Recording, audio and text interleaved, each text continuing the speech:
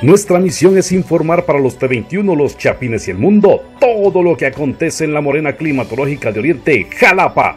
Antes de ver este video, no te olvides de suscribirte a nuestro canal y así mantenerte informado.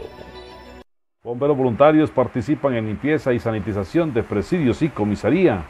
Agentes de la Policía Nacional Civil este lunes pidieron el apoyo a los bomberos voluntarios para que les pudieran llevar agua y lavar la comisaría y el área de presidio de hombres. Esto haciendo una jornada de sanitización para desinfectar estas áreas. Estuvieron tanto en la comisaría 22 como en el centro preventivo para hombres. Esto llevando el vital líquido para que se pudieran desinfectar las áreas debido a que quieren tenerlas limpias y desinfectadas por las personas que visitan ambos lugares. Con esto lo que se quiere evitar es que el virus pueda estar en estos lugares y que personas se puedan infectar. Por ello es que solicitaron el apoyo a bomberos voluntarios para que les pudieran ayudar a realizar estas jornadas de sanitización.